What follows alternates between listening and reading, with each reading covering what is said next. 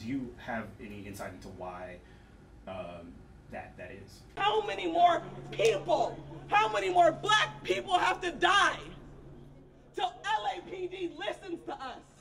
If we don't get no justice, then you don't get no peace. Black Lives Matter, the hashtag, like we were just out there like organizing folks. We did not have money. mental health, whether they're public schools, whether it's affordable housing. And I know you don't want to hear a single sector of our society to combat the systemic racism.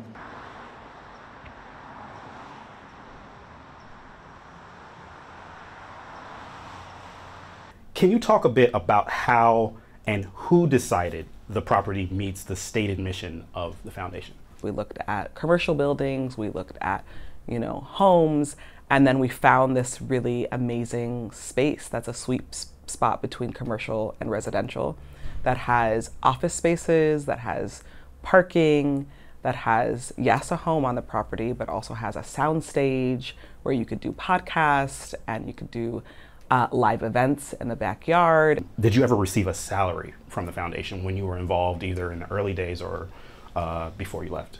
No, I never received a salary from the organization, um, but I did receive consulting dollars from the organization in the early days.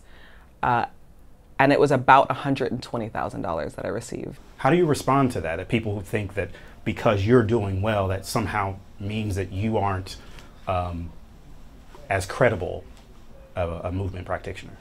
I believe that black organizers who are fighting day in, day out on behalf of black lives uh, deserve to receive salaries, deserve to receive benefits. Um, in fact, for most of my organizing life, I was not an organizer that received a salary.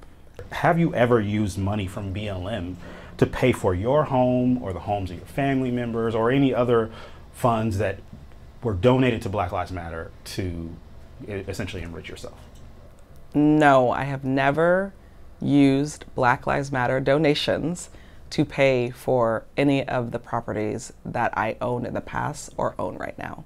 You know, the idea that Black Lives Matter Global Network Foundation received millions of dollars and then I hid those dollars in my bank account is absolutely false. Is there any truth to the reports that your family um, have, has been hired um, to work at the property that was purchased by Black Lives Matter?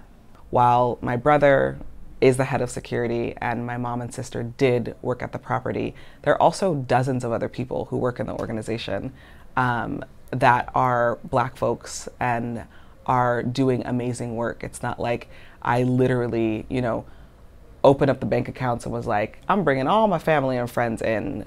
Folks had skill sets. It's been a really bizarre experience to know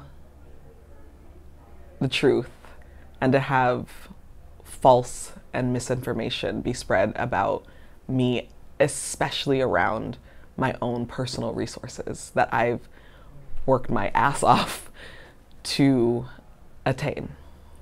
We should have understood that, oh, yeah, you know, we're saying we're eradicating white supremacy and we're getting millions of dollars to do it. And of course, we're going to get attacked. What's your wish for whatever Black Lives Matter continues to be in the future?